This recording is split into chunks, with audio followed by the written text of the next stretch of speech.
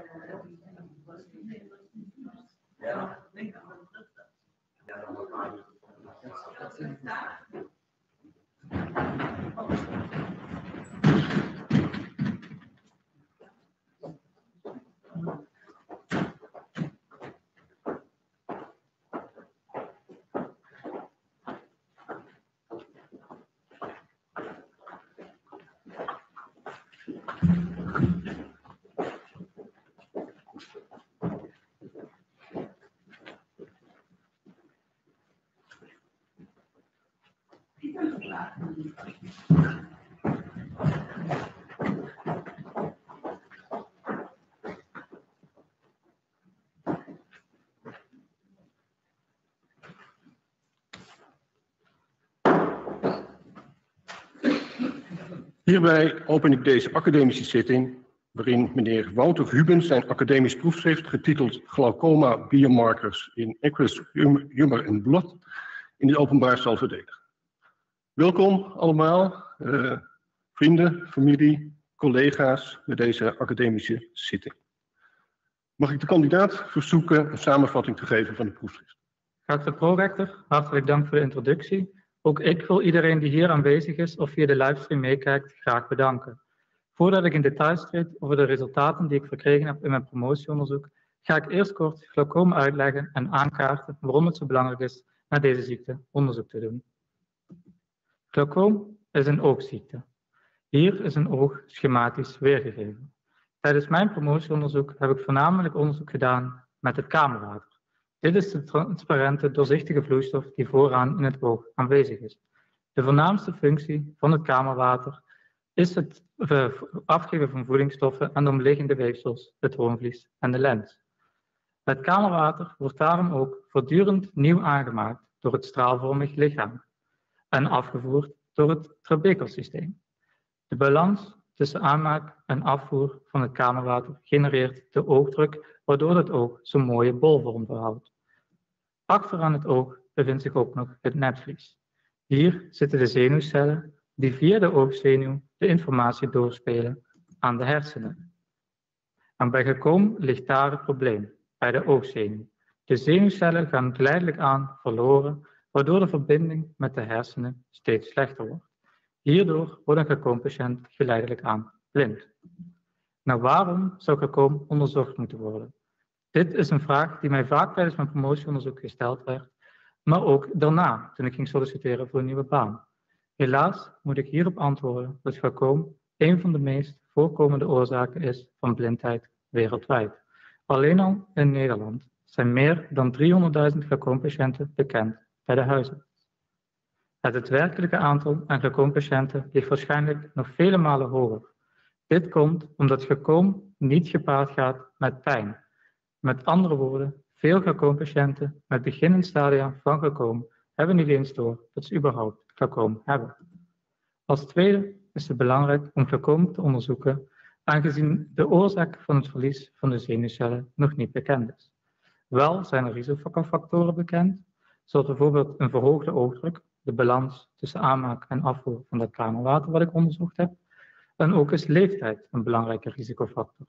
Hoe ouder een patiënt, hoe hoger het risico op het ontwikkelen van glaucoom.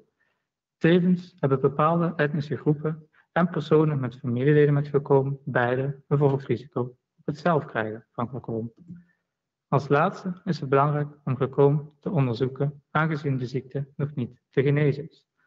De huidige behandelingen zijn erop gericht om de oogdruk te verlagen.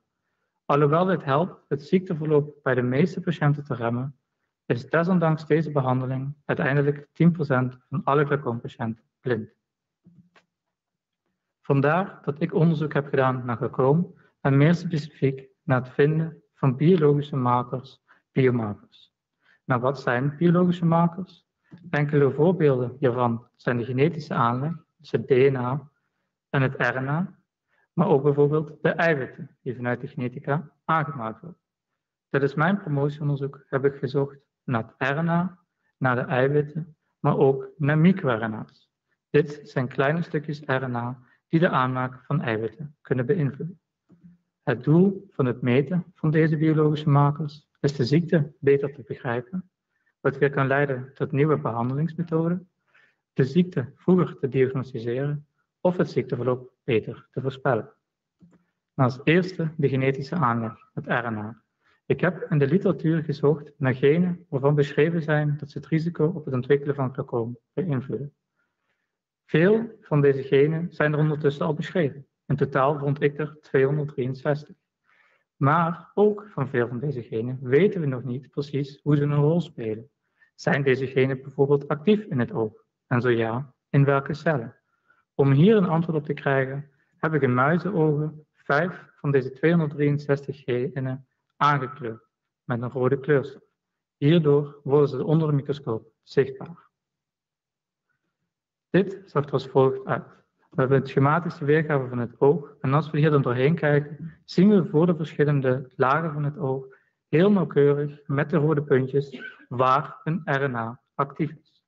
We zagen ook dat dit duidelijk verschilt tussen de verschillende genen. Bij deze twee voorbeelden bijvoorbeeld zien we heel duidelijk bij het straalvormig lichaam, daar waar het kamerwater wordt aangemaakt, dat het gen 1, het RNA, heel erg actief is en bij RNA2 totaal niet. Als dit voor alle 263 genen gedaan zou worden, kunnen we wellicht meer inzicht krijgen in hoe ze een rol spelen bij glaucoom. Als tweede had ik gezocht naar de microRNA's. Om te achterhalen of er microRNA's zijn die verschillen bij glaucoompatiënten, heb ik personen zonder glaucoom geïncludeerd. Deze kwamen bij de oogkliniek voor een staaroperatie. Dit is een vervanging van de troebele lens. En heb ik glaucoompatiënten geïncludeerd. Voor beide groepen heb ik het bloed en het kamerwater geanalyseerd. In het bloed vonden we geen verschil in de microRNA's tussen glaucoompatiënten en personen zonder glaucoom. In het kamerwater daarentegen vonden we zeven microRNA's die significant verschilden in het kamerwater van glaucoompatiënten ten opzichte van personen zonder glaucoom. Deze zeven microRNA's gaven ons meer inzicht in de ziekte.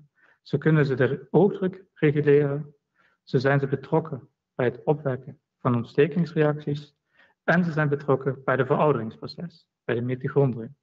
Op het aspect van de mitochondriën kom ik zo meteen nog meer op terug. Vervolgens hadden we gekeken naar de eiwitten, om te achterhalen of er eiwitten zijn die verschillen in het kamerwater van glaucoompatiënten ten aanzien van personen zonder glaucoom, heb ik literatuuronderzoek gedaan. Ik heb gezocht naar studies die we eens eerder onderzocht hebben. In totaal vond ik zeven van zulke studies. Als we dan kijken naar de manier waarop het kamerwater bij deze zeven studies was afgenomen, zagen we dat hier verschillen tussen zitten. Bij een persoon zonder glaucoom wordt kamerwater altijd afgenomen tijdens een staaroperatie. Bij een glaucoompatiënt kan dit ook een staaroperatie zijn, maar het kan bij een glaucoompatiënt ook zijn dat deze patiënt komt voor een glaucoomoperatie, een operatie om de oogdruk nog verder te verlagen. We hebben deze beide groepen van glaucoompatiënten apart vergeleken met de gezonde personen zonder glaucoom. We vonden in het kamerwater van glaucoompatiënten die voor een staaroperatie kwamen 87 eiwitten die verschilden van de personen zonder glaucoom. Bij de groep van glaucoompatiënten die voor een glaucoomoperatie kwamen, waren dit er 73. Voor beide groepen gold dat deze eiwitten betrokken zijn bij ontstekingsreacties en veroudering, wederom die mitochondriën. Eigenlijk hetzelfde wat we ook terugzagen bij onze analyse naar microRNA's. Voor ons was het ook eens interessant om deze twee groepen van glaucoompatiënten met elkaar te vergelijken. Immers, wij denken dat deze twee groepen klinisch van elkaar verschillen. Zo zal een glaucoompatiënt die voor een, glaucoom, voor een staaroperatie komt, waarschijnlijk een glaucoom hebben wat stabiel is. Terwijl een glaucoompatiënt die voor een glaucoomoperatie komt, een glaucoom hebben waarbij glaucoom verslechtert. En vandaar dat een noodzaak was voor een operatie. Met andere woorden, als we deze twee groepen met elkaar gaan vergelijken, krijgen we wellicht een antwoord om waarom de ene patiënt, ondanks behandeling, toch verder dreigt blind te worden. Het bleek dat het kamerwater aanwijzingen gaf dat er activatie is van het aangeboren immuunsysteem bij deze glaucoompatiënten, wat voor een glaucoomoperatie komt. We vonden namelijk verschillen in complementfactoren. Dit hebben we vervolgens ook zelf in onze eigen patiëntengroepen bestudeerd. We hadden personen zonder glaucoom die voor een staaroperatie kwamen, glaucoompatiënten waarbij glaucoom stabiel is, die ook voor een staaroperatie kwamen, en glaucoompatiënten waarbij glaucoom verslechtert, die voor een glaucoomoperatie kwamen. Hierbij hebben we gekeken naar de mate van activiteit van het aangeboren immuunsysteem. Als maatstaf hiervoor hebben wij gebruikt de ratio tussen complementfactors C3A en C3. Hoe hoger de C3A-C3-ratio, hoe actiever het aangeboren immuunsysteem. We zagen dan ook terug in het kamerwater dat inderdaad er een verhoogde ratio was van C3A ten opzichte van C3 bij glaucoompatiënten waarbij glaucoom verslechtert. Dit zagen we echter niet terug bij de glaucoompatiënten waarbij glaucoom stabiel was. Bij het bloed vonden we wederom hetzelfde. Glaucoompatiënten waarbij glaucoom verslechtert, was er een significante verhoging van C3A ten opzichte van C3 ten opzichte van de gezonde personen zonder glaucoom. Terwijl voor de stabiele glaucoompatiënten er geen verschil zichtbaar was. Vervolgens hadden we ook nog gekeken of de hoogte van de activiteit van het aangeboren immuunsysteem, dus de hoogte van de C3A-C3-ratio, correleert met hoe snel een patiënt daadwerkelijk blind wordt. En we zagen terug, als een patiënt een heel actief aangeboren immuunsysteem had, dat deze patiënt sneller blind dreigt te worden. Als laatste onderdeel van mijn promotieonderzoek hebben we gekeken naar de mitochondriale functie. We kregen namelijk herhaaldelijk aanwijzingen hiervoor toen we dit kamerwater analyseerden. Zo hinten zowel de microRNA-analyse als de eiwitanalyse in de verstoring van de mitochondriale functie. Tevens is hier ook al wat meer van over bekend in de literatuur. Zo speelt bijvoorbeeld leeftijd een belangrijke rol bij het ontwikkelen van glaucoom. En het is ook al bekend dat naarmate een patiënt ouder wordt, hoe minder goed de mitochondriën functioneren. Nou, wat zijn nou precies die mitochondriën? Als we kijken binnen onze cel, dan bestaat er een klein compartimentje, de mitochondriën. Deze zijn voornamelijk verantwoordelijk voor de productie van de energie. Deze energie is vervolgens weer nodig voor het aanmaken van de eiwitten, communicatie tussen de cellen en het gezond blijven van de cellen. Als deze mitochondriën dus niet meer goed functioneren, betekent het dat er een energietekort optreedt met een opbouw van schadelijke zuurstofradicalen, ontstekingsreacties en in het algemeen het afsterven van de cel. Om meer concreet aanwijzingen te krijgen of mitochondriale functie een rol speelt bij gekomen, hebben we in de literatuur gezocht naar manieren waarop dit in het bloed te meten is. Het blijkt dat Growth Differentiation Factor 15 een mooie maatstaf hiervoor is. Als een patiënt een verhoogde waarde van deze moleculen heeft in het bloed, is dit een aanwijzing dat de mitochondriën niet goed meer functioneren. We hebben vervolgens in het bloed deze GDF-15-waardes gemeten bij personen zonder glaucoom en glaucoompatiënten. We vonden echter geen verschillen tussen deze twee groepen. Hieruit moeten we concluderen dat GDF-15 niet geschikt is om de rol van mitochondriale functie in glaucoom te bevestigen. En GDF-15 is ook geen geschikte glaucoombiomarker. Samengevat heb ik dus gekeken naar verschillende biomarkers voor glaucoom. Zo heb ik gekeken naar het RNA en heb ik het RNA in muizenogen aangekleurd, waardoor we meer inzicht krijgen waar in het oog een glaucoom geassocieerd risicogen nou daadwerkelijk actief is. We hebben ook gekeken naar de microRNA's. We hadden het kamerwater geanalyseerd en we vonden zeven microRNA's die significant verschilden in het kamerwater van glaucoompatiënten. Deze zeven microRNA's gaven meer inzicht in glaucoom.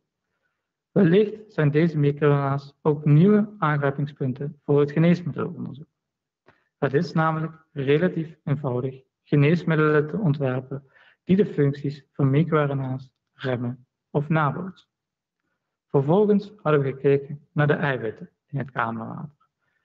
Aan de hand van een literatuuronderzoek vonden we 87 eiwitten die verschilden bij glaucoompatiënten en een stabiel glaucoom en 73 eiwitten die verschilden in het kamerwater van glaucoompatiënten waarbij glaucoom verslechterde. Deze eh, eiwitten gaven meer inzicht in de ziekte, maar gaven ook aanwijzingen dat specifiek het aangeboren immuunsysteem een rol kan spelen bij de verslechtering van glaucoom. Dit betekent ook dat er wellicht gebruikt zou kunnen gaan worden in de kliniek om de verslechtering van glaucoom te voorspellen.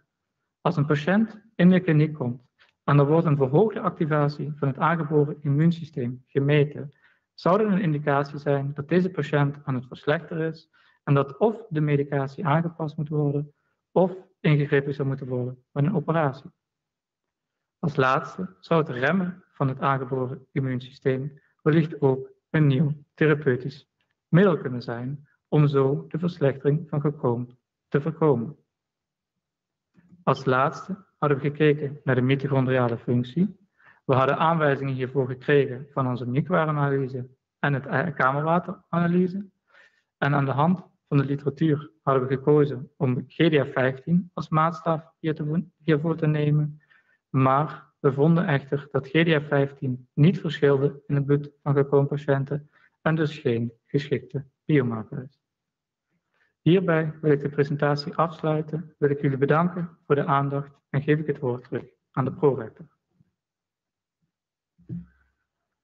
Geachte kandidaat, hartelijk dank voor deze heldere presentatie. Dan eh, komen we nu eh, aan de gedachtenwisseling over het eh, proefschrift toe. En de oppositie zal worden geopend door professor Linden, hoogleraar Translational Neurosciences aan de Universiteit Maastricht en tevens voorzitter van de beoordelingscommissie. Professor Linden, het woord is u nu. Ja, geachte kandidaat, ik wil u uh, graag uh, van harte feliciteren met mooie proefschrift en ook uw promotieteam. En ook uh, met name bedanken voor de heldere introductie. Ook voor iemand die meer met algemene neurowetenschappelijke achtergrond hiernaar kijkt. En daar, dat is misschien ook de achtergrond van mijn vraag, met name over hoofdstuk 3, um, over de microRNA-studie. Als ik goed begrijp zijn er twee doeleinden van de microRNA-werk, diagnostisch als biomarker en de mechanistisch om nieuwe drugstargets te vinden. En dan wil ik als eerste op ingaan op de diagnostische biomarker. Uh, ja, dat is nu een beetje beperkt, omdat het verschil maar in de invasief zeg maar, samples van het uh, kamerwater zijn.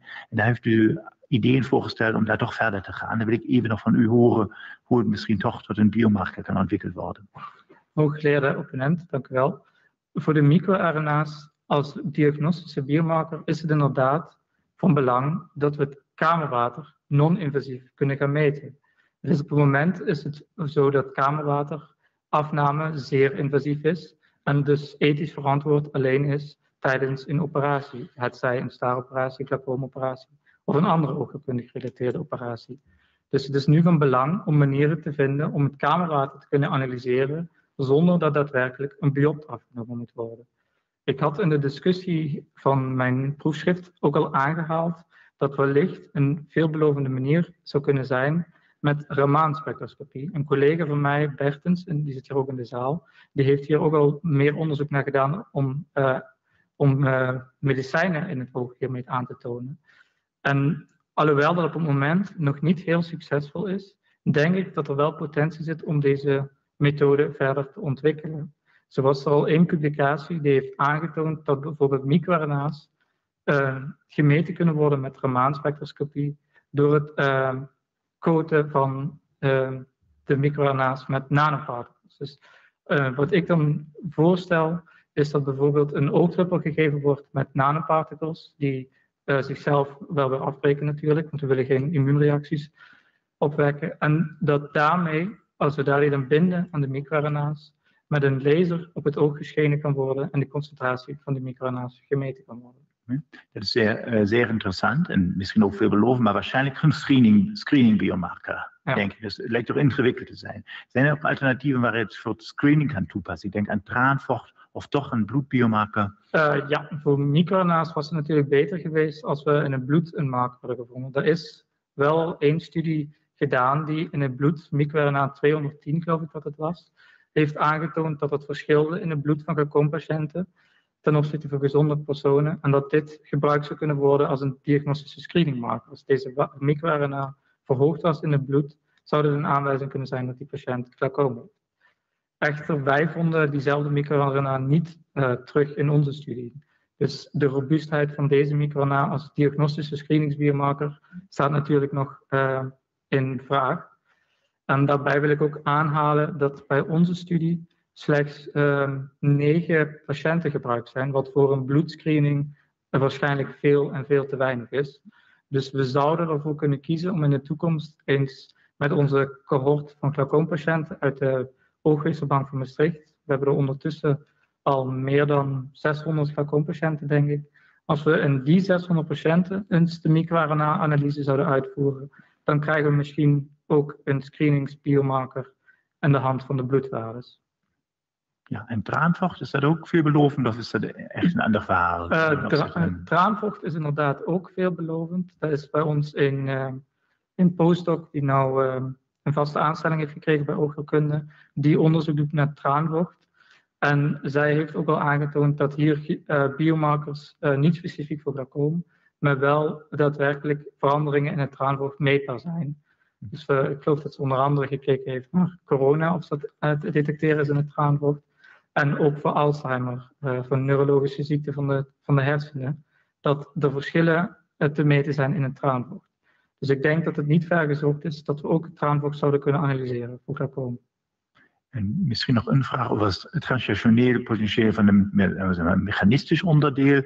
Uh, u uh, ja, spreekt ook in de, in de over uh, therapeutische oplossingen, agomiers, antagomiers. ja, hoe ver zijn we daar? Daar zijn we op zich eigenlijk al redelijk ver, zou ik denken. Dat is sowieso met antagomeren voor microRNA's, die zijn al als medicijnen gebruikt voor andere ziektes. En bij glaucoom zijn er ondertussen al dierproeven gedaan, waarbij aangetoond is dat als we topicaal dus met oogdruppels, een microRNA-antagomeer toevoegen, dat dit uh, helpt de oogdruk te verlagen, waardoor de verlies van zenuwcellen verminderde. Dus ik denk dat als hier verder onderzoek naar gedaan wordt, dat het ook heel reëel is dat die microRNA's gebruikt zullen kunnen worden als alternatieve therapie of als additionele therapie. Dus ik kan me voorstellen, nu moeten sommige patiënten drie tot vier verschillende oogdruppels gebruiken om de oogdruk op een niveau te krijgen die acceptabel is. Dus ik kan me voorstellen dat het misschien gereduceerd kan worden tot één oogdruppel in combinatie met een microRNA of misschien alleen een microRNA. Ja, dank u wel. Dan uh, geef ik het woord uh, terug aan de, uh, meneer de prorector. Dank u, professor Linde. Dan zal de oppositie worden voortgezet door professor Jager, die online bij, bij, ons is vandaag uh, hoogleraar oogheelkunde, in het bijzonder melanoom aan de Universiteit Leiden. Professor Jaar, het woord is u. Geachte promovendus. Eerst een woord voor uw begeleiders. Ik wil graag uw uh, co-promotor en promotor feliciteren met deze, uh, dit mooie onderzoek in een uitvoerige lijn van fantastisch glaucoom onderzoek. En graag wil ik me op de ontstekingsreacties richten. Collega Gan Vu uit Leiden heeft uh, twee jaar geleden laten zien dat je in muizen een immuunreactie kunt opwekken door het kamerwater te blokkeren. Die immuunreactie leidt tot uh, schade aan het netvlies. U laat nu zien dat door bij patiënten met glaucoom in het kamerwater uh, allerlei ontstekingsfactoren voorkomen. Maar als ik naar uw proefschrift kijk, dan vergelijkt u steeds twee groepen. U uh, laat zien bij een buitengewoon mooi hoofdstuk over complementfactoren dat stabiele glaucoompatiënten en progressieve glaucoompatiënten van elkaar verschillen. En naarmate de ziekte ernstiger is, heb je meer complementfactoren. Zou u nou, net als wat mijn collega vond, glaucoom een immuunziekte willen noemen? Geachte opponent, dank u wel voor de lovende woorden van mijn promotieteam. Um, wat betreft uw vraag over de immuunreacties, dat, um, ik, maar het is niet helemaal duidelijk wat nou precies uw vraag was. Speelt, uh, noemt u glaucoom vanaf nu een immuunziekte? Of een um, neurologische ziekte? Dat is een interessante manier om glaucoom te omschrijven. Ik denk dat we moeten voorkomen om glaucoom een, label te, een één enkel label te geven. Ik denk zeker dat uh, het immuunsysteem een hele belangrijke rol speelt, maar het is ook dat niet de enigste ehm, factor die een rol speelt bij glaucoom. Dus heeft ehm, de studie van, waar u ook deel van was, heeft aangetoond met die microflora, dat voor immuunreacties en de infiltratie van immuuncellen in het oog er eerst een trigger nodig was, die verhoging van de oogdruk. Dus ik denk dat er een uh, samenspel is tussen mechanische factoren en misschien ook um, uh, vasculaire factoren en het immuunsysteem. Ik denk dat die, al die factoren samenspelen en elkaar versterken. En dat het niet zozeer is dat glaucoom puur een immuunziekte is, waarbij als je het immuunsysteem remt, dat dan het hele probleem opgelost is. Ik vind dat een uh, heel mooi antwoord, maar dan wil ik graag nog even ingaan op wat data in uw proefschrift. Uh, op pagina 133 uh, laat u iets zien wat in een ander hoofdstuk ook voorkomt. Als u naar pagina 133 kijkt, dan hebt u de controles, duidelijk, die zitten laag in hun complementfactoren, dan de stabiele patiënten en dan de progressieve. Maar als je kijkt naar de stabiele, en dan vooral als je uh, al het plaatje linksboven ziet, complement C3, dan onder de stabiele patiënten zitten er die laag zijn en er zitten er die hoog zijn. Dus het is meer statistische testen die u uh, de verschillen tussen de twee groepen laten zien. Maar een deel van de patiënten met stabiele glaucoom lijkt wel in de slechte groep te zitten. Hebt u daar verder onderzoek naar gedaan? Um, het klopt inderdaad dat bij de stabiele glaucoompatiënten er patiënten waren die een hoge C3-waarde hebben. Dit is ook al eens in een eerdere studie aangetoond dat er een verhoogde waarde was van C3 bij glaucoom. En dat was de hypothese dat uh, C3 zelf, dus dat is degene bij figuur 1a, wat hoog is, dat C3 in beginnende stadia van glaucoom een, immuun, bescher een beschermende functie heeft in het immuunsysteem.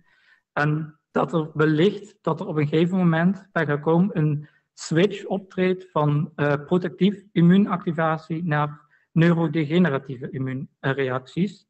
En wij hebben op het moment zelf nog geen onderzoek verder gedaan. En uh, ik moet ook nog een keer aanhalen dat op het moment bij C3, zoals ook te zien is in de figuur, hebben we, maar, hebben we zes patiënten waarbij we de C3-waardes hebben kunnen meten in het kamerwater. En het wordt denk ik heel erg belangrijk om deze studie verder uit te breiden. En wellicht dat we inderdaad binnen in de stabiele glaucoomgroep nog een subgroep kunnen gaan identificeren, waarbij de, er dat we dan een subgroep hebben van stabiele glaucoompatiënten die daadwerkelijk ook echt stabiel blijven. Een stabiele groep die het risico heeft om progressief te worden, want deze patiënten die we hier geïncludeerd hebben, um, zijn waarschijnlijk nog niet zo lang geleden gediagnosticeerd met glaucoom. Dat is ook een belangrijk punt, denk ik, dat aangehaald moet worden. Dat we ook moeten kijken naar hoe lang een patiënt al bekend is met glaucoom. Dus ik denk als een, als een patiënt pas twee, drie jaar bekend is met glaucoom, dan kan ik me voorstellen dat deze patiënt wellicht een hoge waarde heeft en op het moment nog stabiel is, maar dat het gewoon betekent dat deze patiënt nu, vanaf nu dreigt progressief te worden. En daarom is een belangrijk factor, denk ik, ook om eens vast te stellen hoe lang deze patiënt al glaucoom heeft en dat ook mee te nemen in de analyse. Ja, ik vind het een heel mooi antwoord, want uh, hetzelfde geldt eigenlijk als u kijkt naar uw mooie studie over de MI-RNA's. Dat, uh, op, uh, u hebt daar ook plaatjes, pagina 62, waar u verschillende MI-RNA's bij glaucoompatiënten bekijkt. En dan vindt u zowel hoge als lage scorende patiënten. Wat ik nu, we hebben bij uh, patiënten met oogmelanoom ook naar voorste oogkamervocht gekeken. Nou bleek dat patiënten die bij bepaald miRNA hoog waren, ook vaak bij de andere miRNA's hoog waren. Hebt u daar nog naar gekeken? Of, uh, want u hebt soms hoge, soms lage. Zijn het dezelfde glaucoompatiënten die met alle miRNA's hoog zitten of laag? Uh, nee, ik heb, dat, dat, is een hele interessante vraag en ook erg relevant. Maar ik heb een analyse, ik heb een matrixanalyse gedaan om te kijken of de microRNA's significant aan uh, elkaar correleren. En daarin, als dat het geval zou zijn, dan zou je inderdaad terugzien dat als een patiënt een hoge microRNA A heeft, dat hij ook een hoge microRNA B heeft. Maar we zagen geen significante correlaties. Dus dat was patiënt A die had een hoge microRNA 30A3P, maar dan een relatief lage 143-3P, ik noem maar wat. En uh, zo zagen we inderdaad dat er geen correlaties tussen deze zeven microRNA's in ieder geval was. Oké. En hebt u ook de kans gehad om in dezelfde uh, samples zowel eiwitanalyse als miRNA-analyse te doen? Of is dat iets wat nog voor de toekomst op het programma staat? Is iets wat voor de toekomst in het programma ligt, denk ik. Want uh, we hebben op het moment hebben we alle uh, microliters aan kamerwater, want we krijgen maar natuurlijk iets van 50 microliter kamerwater. Als het een beetje mee zit, 100 microliter. En dat is, was net genoeg voor die uh, kamerwateranalyse voor de microRNA's. En voor de eiwitten gold het eigenlijk hetzelfde. Dat de manier waarop wij in het kamerwater gekeken hadden met die ELISA's, hebben we eigenlijk te veel kamerwater nodig om deze samples nog verder te kunnen gebruiken voor ander onderzoek. Nou, het is al erg mooi wat u er allemaal mee voor elkaar gekregen hebt. Want het zijn inderdaad wel altijd micro-hoeveelheden, omdat je afhankelijk bent van wat er bij de operatie beschikbaar komt. Uh, ik ben zeer tevreden met uw antwoorden en ik geef het woord uh, graag terug aan de rector. Dank u wel, uh, professor Jager. Dan gaan we verder met de oppositie door professor Bergen. Ook hij zal online de, de vragen stellen. Professor Bergen is hoogleraar genetische oogziekten aan het Amsterdam UMC, locatie AMC. Professor Bergen, het woord is aan u. Dank u wel, conrector. En um, ik wil graag de kandidaat en het promotieteam ook feliciteren met het behaalde resultaat. Een zeer mooi proefschrift. En ik denk dat dat, wat het laat zien is dat deze ziekte toch op zeer veel niveaus ook zeer heterogeen is. Uh, wat het ook niet mee zal laten vallen om daar een uh, therapie voor te ontwikkelen. Ik weet niet of de kandidaat daar ook zo over denkt. Ik denk inderdaad hetzelfde erover dat de ziekte heel erg homogeen, homogeen is. En dat het ook moeilijk wordt om één gouden therapie te hebben die voor alle patiënten gaat werken.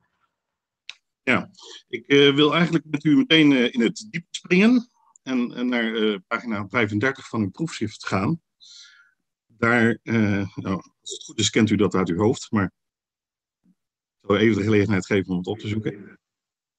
Um, daar staat een tabel aangegeven waarin u de expressiepatronen van een aantal kandidaatziektegenen laat zien, die bij glaucoom betrokken zijn. Nou zie, zien we daar dat een aantal in de betrokken weefsels hoog aanstaan, maar ook een aantal die vrij, vrij wel niet of nauwelijks tot expressie komen.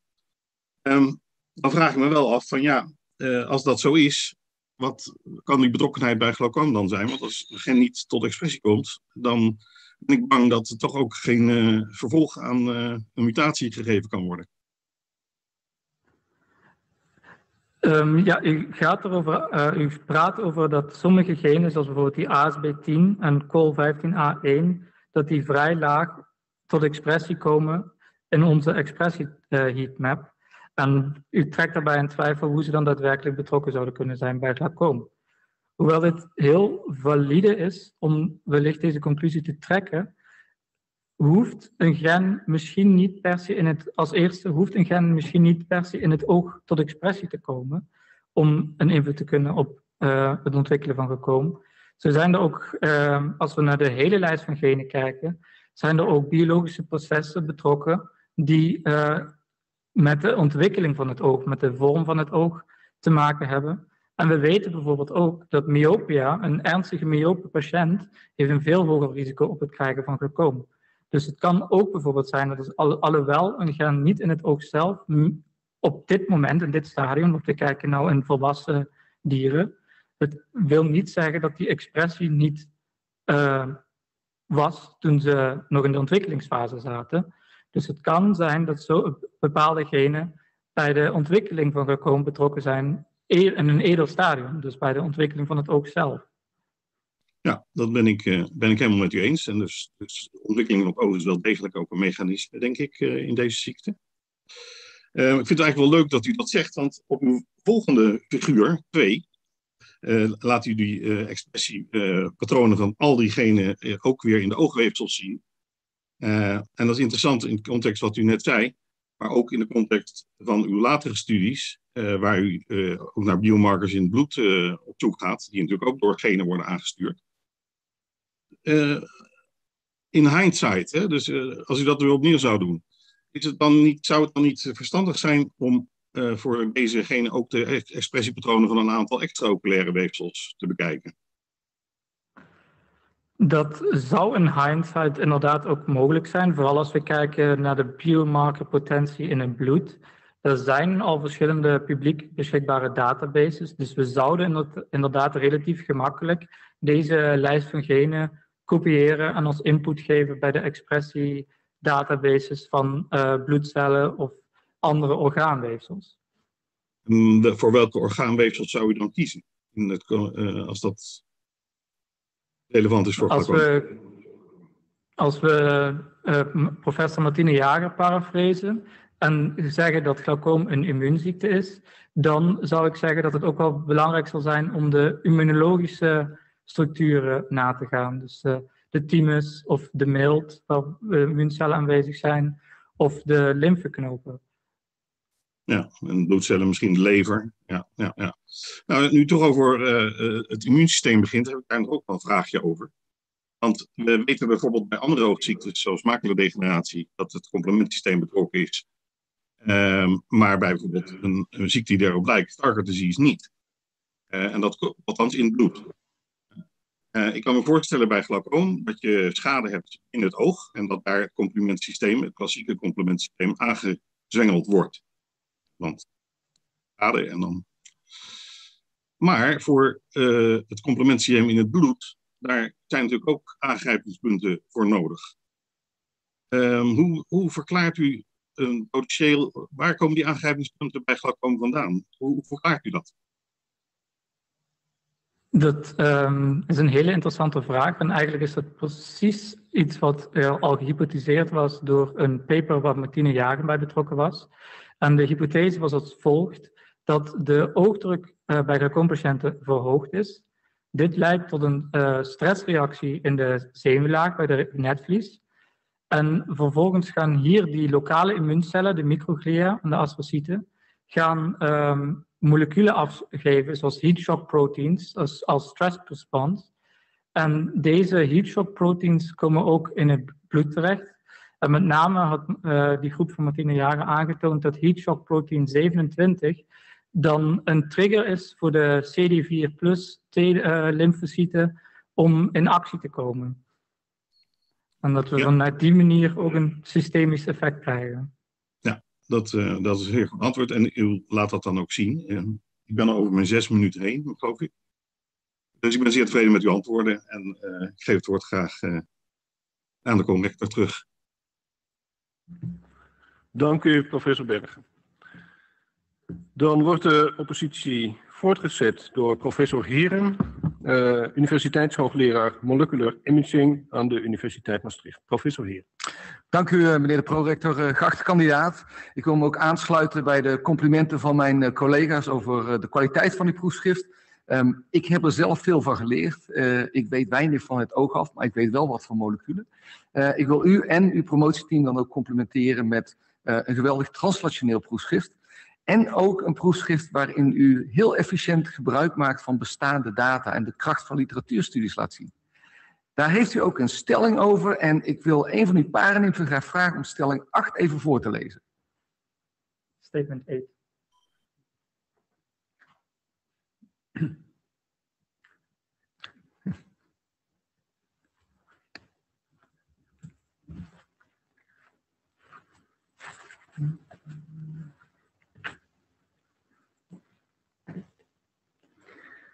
Standardization of methods and publication of the raw data realize the full potential of large omics studies.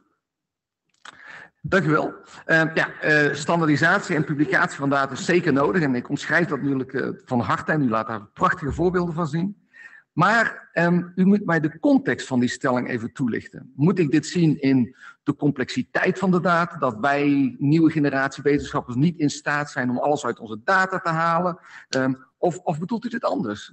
Kunt u daar eens even uw gedachten over delen?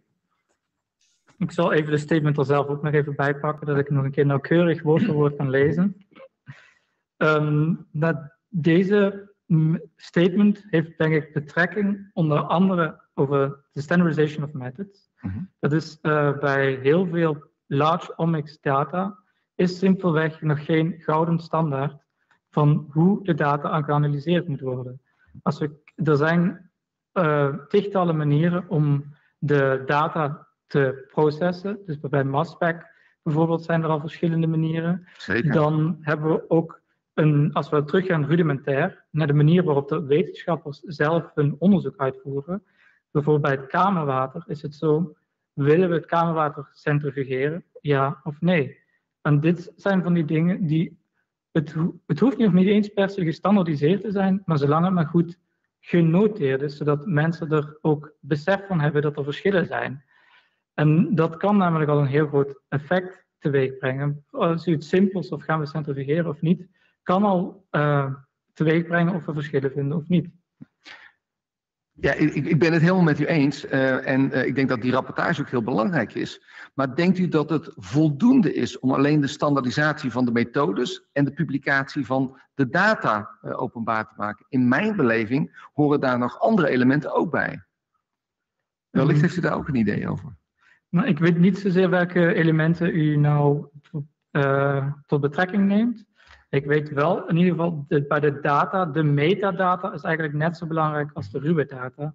Dus we kunnen wel pieken hebben van masspec, maar als we niet weten hoe oud die patiënt is, wat voor geslacht hij heeft, heeft hij uh, progressief gekomen, stabiel gekomen, et cetera, dan zegt die data eigenlijk ook niks. Helemaal waar. Mijn vraag was meer gericht op het ook publiceren van de tools. Niet alleen de methode, maar de stukken software die ook toegankelijk moeten gemaakt worden uh, bij dezelfde publicaties. Omdat het anders niet mogelijk is om op dezelfde manier of een andere manier de data te analyseren. Dat goed. is ook zeker waar, inderdaad. Maar goed, uh, daar genoeg over. Het zal u niet verbazen dat ik ook graag met u van gedachten wil wisselen over hoofdstuk 4. Uh, het prachtige proteomics stuk over het kamerwater wat u publiceert. En daar viel mij wat op. Een van de dingen die mij daar opviel in de verschillende studies die uh, uh, u bekeken hebt en uh, samengevat hebt in 4a en 4b, daar zie ik eigenlijk maar 800, zo'n 800 kamerproteïnes. en dat is zo'n, ja, dat 10% daarvan zijn differentieel tot uitdrukking gebracht tussen verschillende groepen. En als ik dan denk aan dat hele proteoom met 800.000 eiwitten en nog allerlei varianten daarop, met posttranslationele modificaties, dan denk ik bij mezelf, nou, moderne proteomics moet toch wel wat beter kunnen dan dat. Dus mijn vraag is, wat kunt u mij vertellen, waarom zijn dit zo weinig eiwitten gezien de mogelijkheden die de moderne technieken bieden? Nou, ik denk dat een makkelijk antwoord hierop al gewoon is de biologische functie van het kamerwater. Mhm. Mm -hmm. Ons oog heeft als primaire functie dingen waar te nemen. En daarbij is het dus belangrijk dat ons oogvocht transparant is. Als hier te veel eiwitten in voor zouden komen, dan wordt ons kamerwater troebel en zouden we niet fatsoenlijk meer kunnen zien. Mhm. Vandaar dat er ook actief een verschil zit tussen het bloedsamenstelling van eiwitten en het kamerwatersamenstelling van eiwitten. Er wordt men heel select uh, subset van eiwitten van het bloed komt terecht in het kamerwater of wordt specifiek door het uh, ciliaire body aangemaakt. En vandaar dat ik denk dat we ook nooit 20.000 verschillende eiwitten in het kamerwater zullen vinden, Simpelweg omdat er geen biologische vraag naar is. En het zou alleen maar het oog functioneel behinderen. Dus de, het, zeg het gebrek aan complexiteit in kamerwater is, uh, is daar een oorzaak van. Nou, dat, dat brengt me dan op een, een andere vraag daaraan gerelateerd. Um, in, uh, volgens mij is het op pagina 91, laat u de, de overlap tussen de verschillende studies die u bekeken heeft uh, zien. En nou goed, we hebben nu net gesteld dat de complexiteit heel gering is. Als ik dan naar die Venn-diagrammen kijk, dan zie ik bij mezelf, er is eigenlijk bijna geen overlap tussen die studies. Dus zelfs met een geringe complexiteit zou ik toch enige structuur verwachten. Um, kunt u daar, daar iets over zeggen? U, heeft, um, u zegt op pagina 103, ja, we zien wel dat er weinig overlap is, maar waarom dat is, dat begrijpen we eigenlijk niet. Dat vind ik een beetje kort door de bocht, dus u hebt daar vast over nagedacht. Dus ik ben heel benieuwd wat uw gedachten zijn over dat gebrek aan overlap tussen die verschillende studies. Ik denk een groot aspect is al de jaartallen van de studies, de technieken om kamerwatereiwitten te meten wordt drastisch verbeterd per jaar. Het is, we werken A met hele kleine volumes en B, we werken ook met patiëntenmateriaal. En patiënten kunnen biologisch heel veel van elkaar verschillen. Mhm. En als we dan naar deze studies kijken, dan zien we dat de sample size gewoon vrij laag is. Elke studie heeft maar 10, 20 patiënten. En we verwachten eigenlijk wel inderdaad meer overlap. En wellicht dat een deel ook nog komt door het feit dat de sensitiviteit van de techniek per studie kan verschillen. En als we kijken naar het kamerwater, dan is één eiwit wat heel, heel hoog voorkomt, het albumine. 80 tot 90 procent van de reeks is albumine. Dus ik denk dat een combinatie van deze aanwezigheid van een heel klein subgroep, wat eh, de top 10 eiwitten, eh, is 99% van de concentratie, ik noem maar wat. Maar grofweg gezegd is het zo dat die andere eiwitten, wat niet overlappend zijn, ook simpelweg maar in heel, heel kleine concentraties voorkomen. Nou En in, in dat ligt, dat, u zegt uh, wellicht terecht, de, de, de technieken zijn vooruit gegaan en er zijn andere eiwitten met hoge concentratie aanwezig. Hoe zou u dat nu aanpakken? Hoe zou u nu een proteomics-studie van dat uh, kamerwater opzetten? En twee dingen die ik denk ik zou doen, is een albumine-depletie sowieso. Zeker. En misschien een immunodepleties voor de IgG's. Want die in mass-spec zijn die niet zoveel zeggend, want we weten niet wat ze voor targets hebben. Dus dan, is het eigenlijk meer of minder achtergrondruis, waar we niet zoveel mee kunnen. Dus als we dan zeggen van, nou ja, we zien een significant verschil in IGLL27, dat is biologisch, dat is misschien wetenschappelijk interessant, maar biologisch kunnen we daar op het moment niet veel mee. Dus ik zou proberen het grootste gros van eiwitten, waar we niet zoveel aan hebben, maar wel de grootste gros van de reeds geven, eruit filteren. En idealiter had ik ook een protocol opgezet waarbij we het kamerwater centrifugeren en dan het supernatant analyseren en het pellet dat achterblijft. Want dan krijgen we misschien ook meer inzicht in de vraag waar komt precies wat we meten, waar het vandaan? Is het puin wat van achter het netvlies vandaan komt, van cellen die afsterven? Of is het actief uh, uitgescheiden van uh, exosomen? Of is het actief uitgescheiden, of is het uh, van het straalvormig lichaam? Op die manier zou ik denken dat het misschien mogelijk is om nog iets meer informatie te krijgen wat de studies. Ik had natuurlijk ook graag gehoopt dat u zou zeggen dat doen we natuurlijk in samenwerking met M4I. Maar, dat sowieso. Um, en, en nog een laatste vraag als ik mag, meneer de prorector. Uh, er is nog tijd voor een korte vraag en een kort antwoord. Korte vraag. Um, in die hele, hele proteoomanalyse die u doet, valt me op dat u niet naar de posttranslationele modificaties kijkt. Terwijl ik denk dat wellicht daar, zeker in dit ziektebeeld, heel veel te winnen is. Zou u in die nieuwe strategie niet ook naar de proteoom posttranslationele modificatie moeten kijken? En welke zou u dan uitzoeken? Als het antwoord daarop ja is. Dat is posttranslationele modificatie van de eiwitten. Van de eiwitten, ja. Dus glycosylering, fosforylering, acetylering, ja. methylering. Nou ja, ik zelf zou sowieso naar methylering kijken. Maar dat komt misschien ook omdat ik nou bevooroordeeld ben. Omdat ik bij mijn nieuwe baan kijk naar het methylatieprofiel van bloedcellen. Dus ik zou dat zeker meenemen. En ja, eigenlijk zou je zoveel mogelijk moeten meenemen wat de technieken toelaten. De reden waarom dat we in deze studies 4a en 4b niet over deze posttranslationele modificaties hebben, is omdat simpelweg deze studies daar niet naar gekeken hebben omdat op dat moment dat deze studies gedaan waren, zaten we op met uh, de manier waarop het nou gedaan was, is al de limit van wat we op dat moment konden. Helder, dank u wel. Ik geef het uh, woord graag terug aan de projector. Dank u, professor Heren. Dan wordt de oppositie uh, voortgezet door professor De Kok, hoogleraar Population-Based Toxicogenomics aan de Universiteit Maastricht. Ja, dank u wel. Geachte promovendus, uh, ook mijn hartelijke gelukwensen met het gereedkomen van dit uh, prachtige proefschrift, ook voor uw promotieteam. En met name voor de manier waarop het geschreven is, want ik vind het erg toegankelijk en prettig leesbaar, een goede introductie. En ik kom dus ook niet uit de oogheelkunde en ik heb er dus ook veel van geleerd. Uh, en dat komt omdat het prettig geschreven is en ook uitnodigt tot het lezen. Uh, ik heb er zelfs wat dingen bijgezocht. Dus ik heb een beetje eigen studie van gemaakt. En toch heb ik nog vragen over die ik daar niet zelf kon beantwoorden. Dus die ga ik u nu voorleggen. En ik wil me daarbij richten met name op hoofdstuk 3.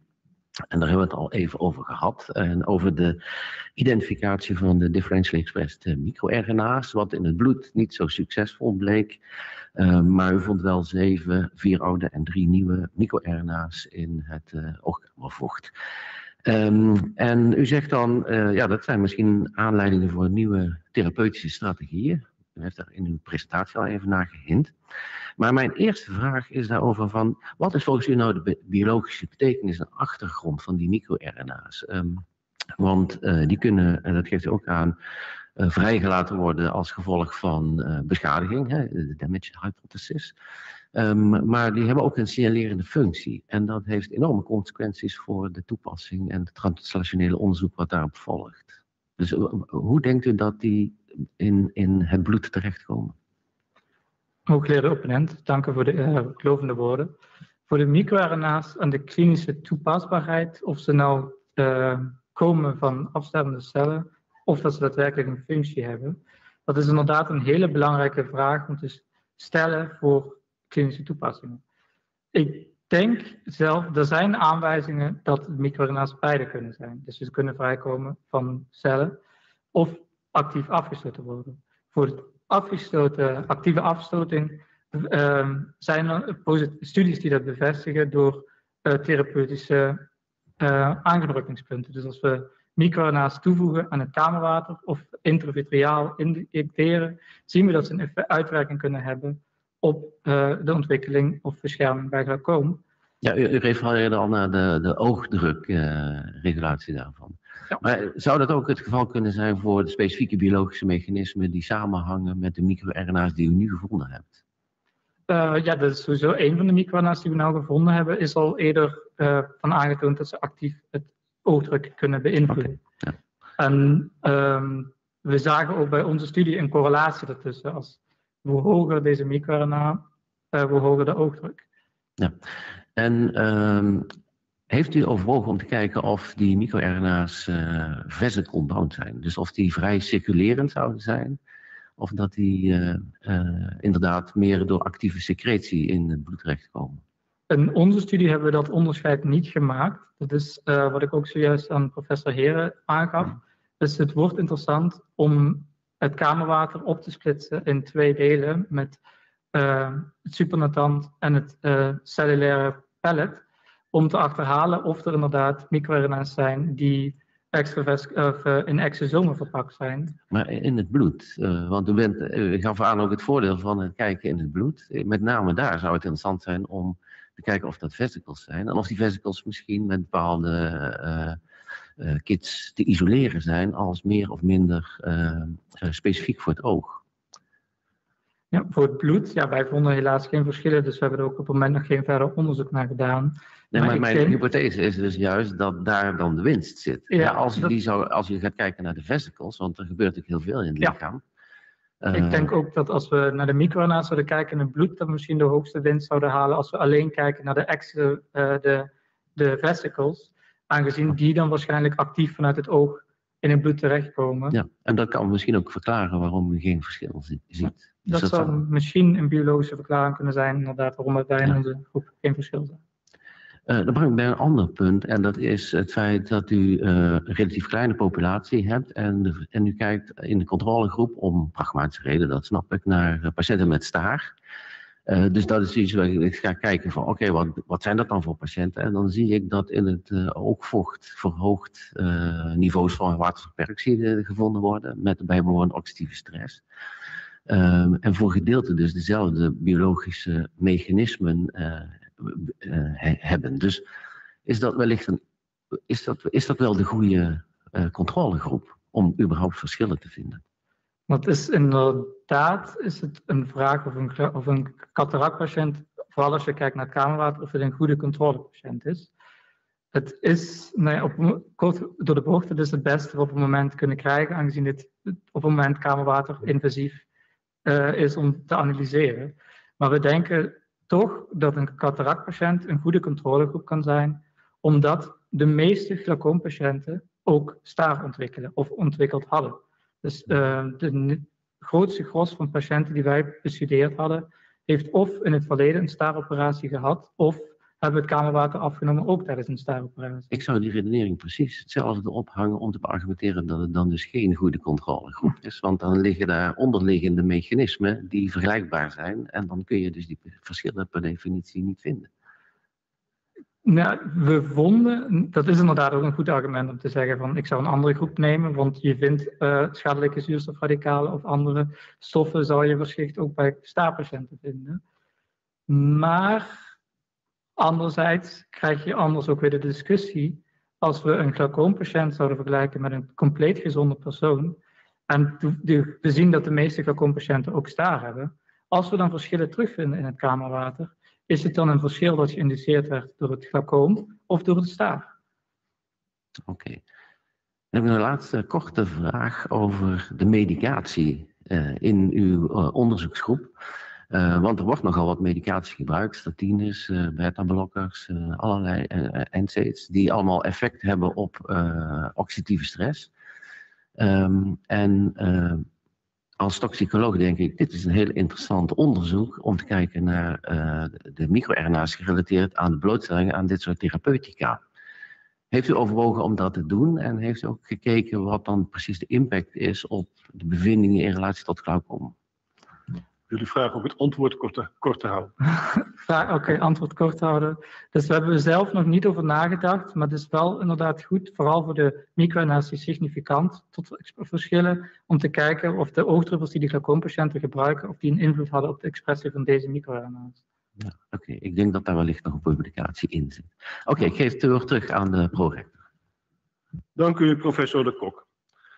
Dan komen we aan het uh, einde van uh, de oppositie. En de laatste vragen zullen gesteld worden door uh, professor Smeets, hoogleraar Clinical Genomics aan de Universiteit Maastricht. dank u wel, meneer de prorector. Geachte promovendus, mijn complimenten met het proefschrift en daar wil ik uiteraard ook het promotieteam betrekken. Heel mooi werk. ik wil eerst beginnen met een klein wat meer technisch vraagje. U heeft het in appendix 1 over summary en Nederlandse samenvatting. Nu denkt u blijkbaar dat de mensen de summary wel herkennen als Engelstalig, maar blijkbaar denkt, geldt dat niet voor de Nederlandse samenvatting. Bent u bang dat na al die jaren Engelstalig onderwijs u zich niet meer goed in het Nederlands kunt uitdrukken, tot u dat erbij hebt moeten zetten? En is dit een soort statement tegen de verengelsing van, van onze universiteit? Graag een kort antwoord. Geleerde opponent, dat is een heel aparte vraag.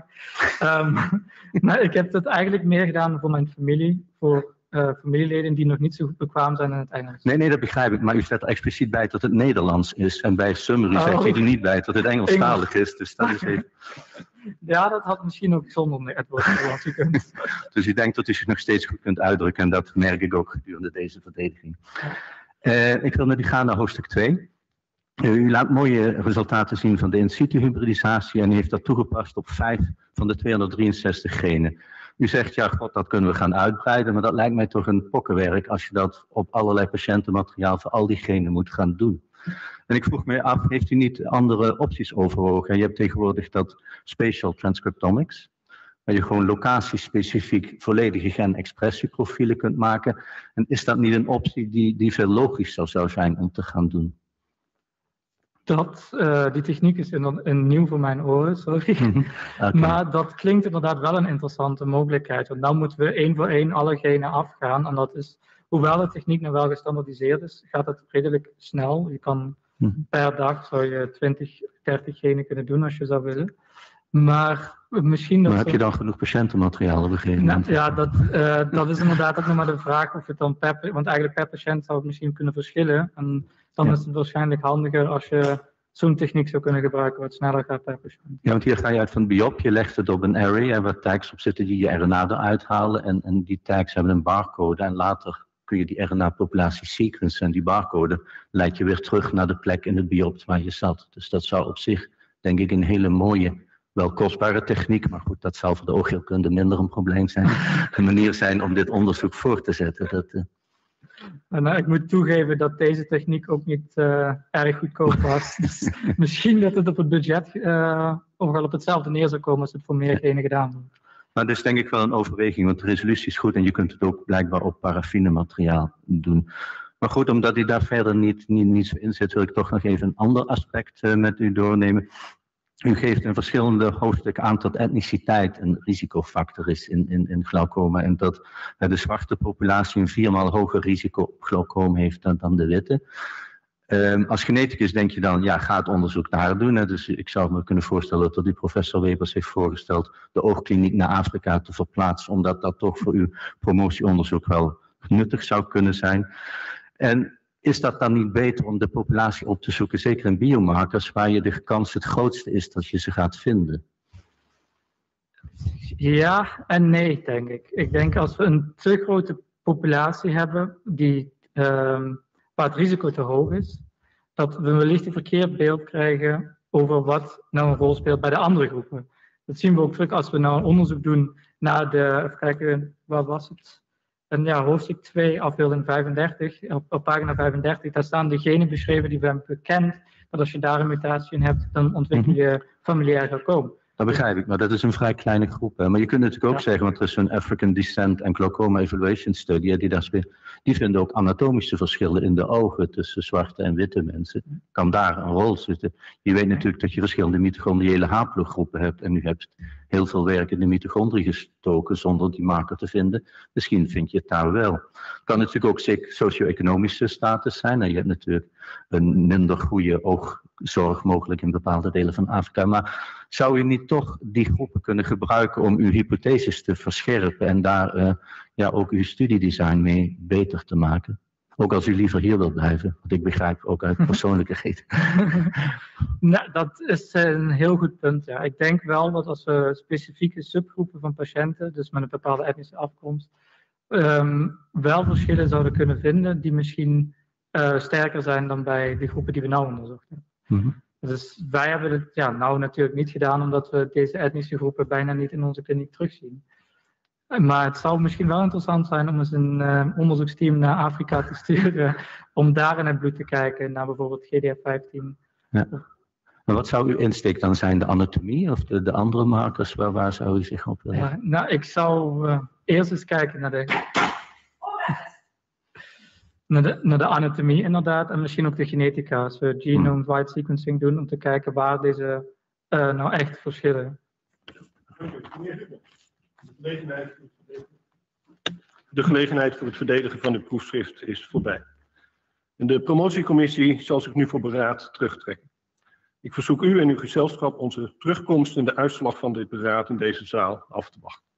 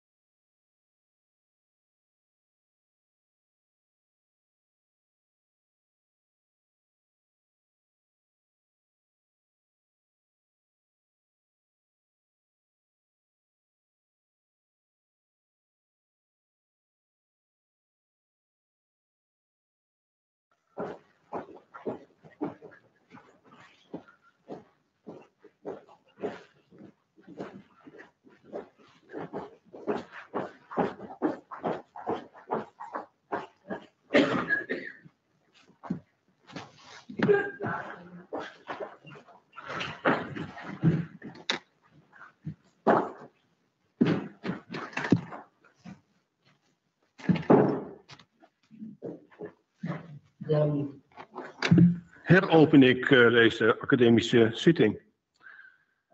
Meneer Rubens, de commissie hier aanwezig heeft zich beraden over de kwaliteit van uw proefschrift en de wijze waarop u dat proefschrift heeft verdedigd. Op grond van haar positief oordeel en gelet op de examens die u vroeger heeft afgelegd, heeft zij besloten u het gevraagde doctoraat toe te kennen. En uw hoogleraar, professor Webers, is gemachtigd om u op de gebruikelijke wijze met deze waardigheid te bekleden. Het woord is aan de promotor.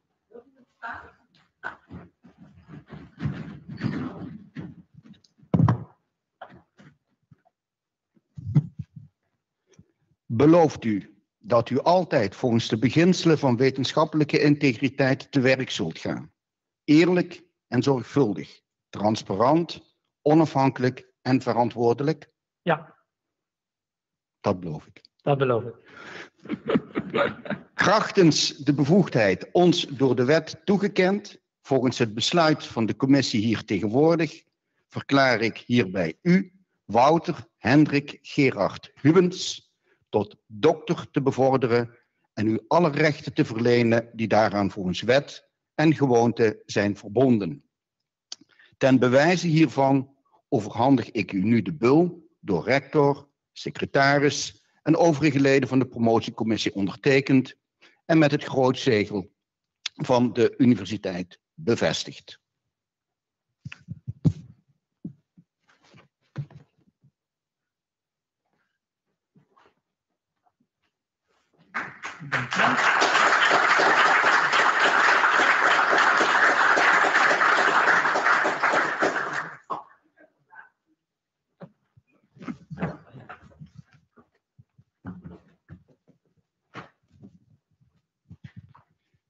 Zeer geachte dokter Hubens, beste Wouter, met OU. Het is een eer en een genoegen om jou als eerste in je nieuwe hoedanigheid te mogen toespreken. Uiteraard gaan mijn felicitaties ook uit naar je vriendin Lena, je familie en bekenden.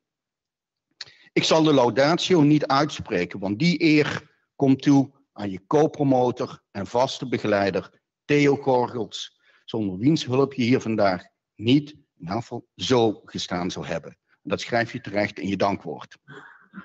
Dames en heren, voordat ik de co-promotor het woord geef, wil ik graag iets met u delen en dat is het volgende. Ik weet niet of u het herkent, maar voor ons gaat vandaag nu een droomscenario in vervulling. Namelijk dat wij Wouter mogen toespreken en hij mag niks terugzeggen.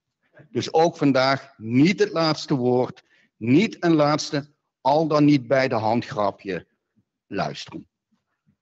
Wouter, ik kijk terug op een geslaagd promotietraject met de gebruikelijke ups en downs. We hebben aanvankelijk erg aan elkaar moeten wennen, maar uiteindelijk is dat goed gekomen. Ik ben je echt dankbaar en erkentelijk voor al het werk dat je in en aan de Oogweestelbank Maastricht hebt besteed. En waar je nu zelf de vruchten van geplukt hebt. Ik wens je heel veel succes in je verdere carrière en ik denk dat ik terecht nu het woord geef aan Theo.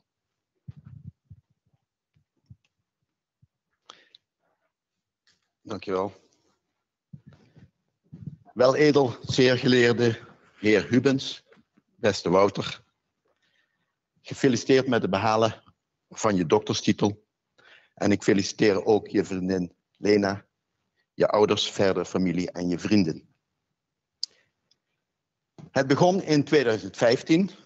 Eh, we hadden een baan beschikbaar voor een promovendus en voor professor Steinbusch kregen we een naam door van een piep jongeman van krap 23 jaar die net terugkwam uit Japan en niet één, maar twee mastertitels had behaald. Eén in Maastricht en één in Japan.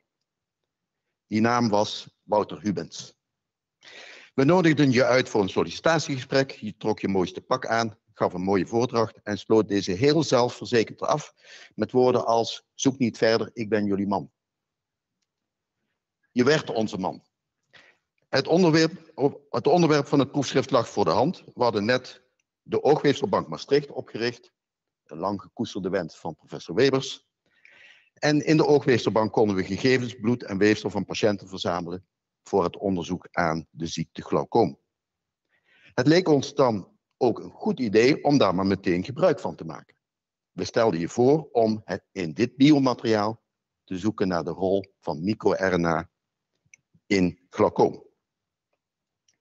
Toen je eenmaal begonnen was, bleek dat ik te optimistisch was geweest over de snelheid waarmee de oogweefselbank Maastricht opgestart en gevuld kon worden. Het verde veel, veel tijd voordat alles goed en zorgvuldig georganiseerd was. Dit betekende voor jou in de praktijk twee dingen. Punt 1. Je hielp mee met het opstarten van de oogweefselbank. Het core team van de Oogweefselbank Maastricht bestond destijds naast professor Webels en mezelf toch vooral uit jou en Anja Eijk, die, eh, die je nu ook weer terzijde staat.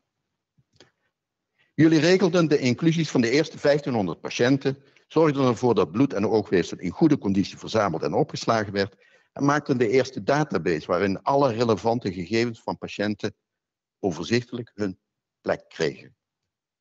Ik weet niet zeker of je dit werk leuk vond, maar het was nodig en je deed het. Zolang de oogweefselbank nog niet gevuld was, en dat is punt 2, hadden we tijd voor andere dingen. Andere studies. We besloten toen om een overzicht te maken van alle gepubliceerde gegevens over eiwitten in het kamerwater van glaucoompatiënten, om te kijken of we zoiets meer over glaucoom te weten zouden komen. Wat me hierbij meteen opviel was het gemak waarmee je grote hoeveelheden gegevens uit de literatuur kon ordenen. Je voelde je thuis meteen achter je laptop met grote databestanden voor je. Je hebt een talent om tabellen te maken. In totaal bevat je proefschrift maar liefst 4, 42 tabellen. En dan heb ik de supplementen nog niet eens meegerekend.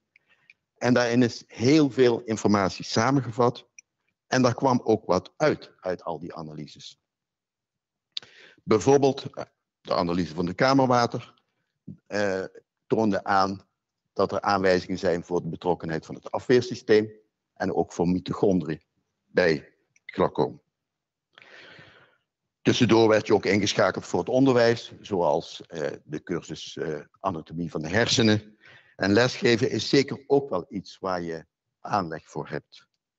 Bedankt ook voor de prettige en geduldige begeleiding van een flink aantal studenten bij hun stages het was altijd gezellig op je kantoor. En in de koffiekamer met heerlijke koffie en de geur van je beroemde tosties. Je kreeg van die studenten ook af en toe wel wat terug. Ze droegen bij aan je publicaties.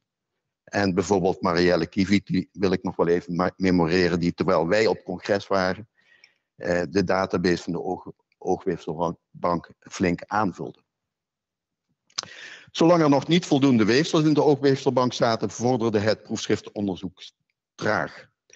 Waarschijnlijk maakte je je daar zorgen over, maar dat liet je niet echt merken. Je was wat dat betreft moeilijk peilbaar.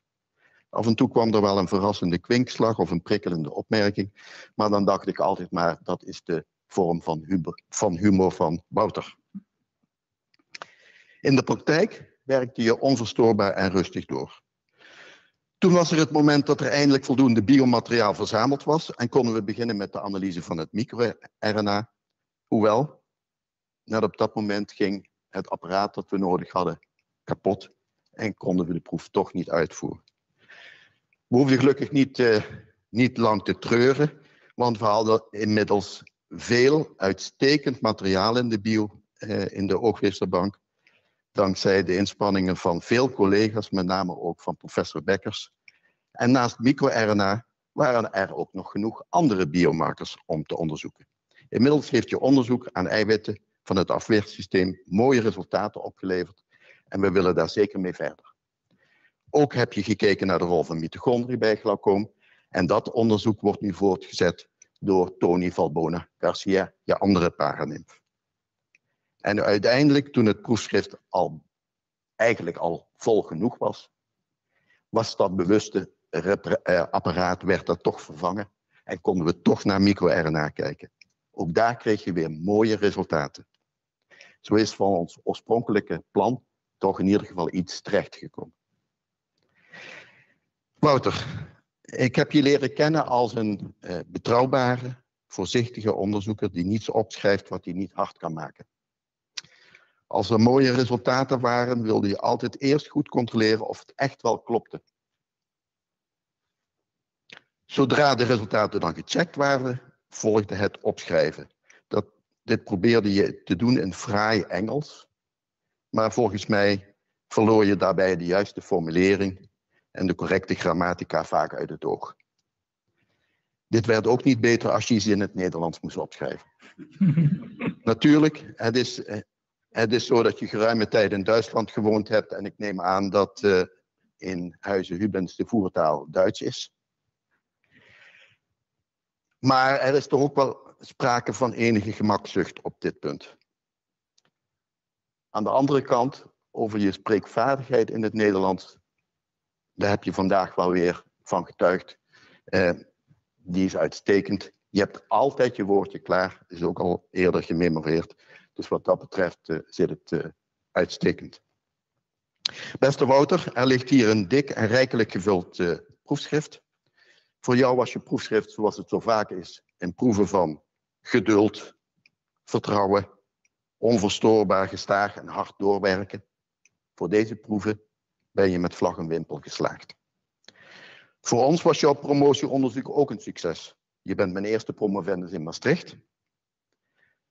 Je bent de eerste promovendus die gebruik maakt van de gegevens van de Ookweefselbank.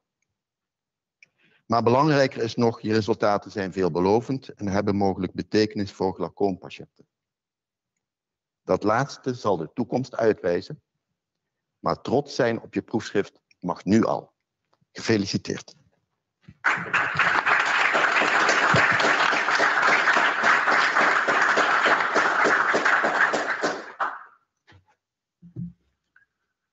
Dokter Hubens, dan mag ik de eerste zijn om u namens de Universiteit Maastricht te feliciteren met de behaalde dokterstitel. En die eh, felicitaties gelden natuurlijk ook voor het eh, promotieteam uh, en voor de familie, vrienden en collega's die vandaag aanwezig zijn, hier in de zaal of online. De commissie zal na het sluiten van deze zitting nog in deze zaal blijven voor het, het maken van een, een foto. En het publiek wil ik verzoeken om de, de, de, receptie te bezoeken en die zal plaatsvinden in de tuin van, van het gebouw hier. Dan sluit ik hierbij deze academische zitting.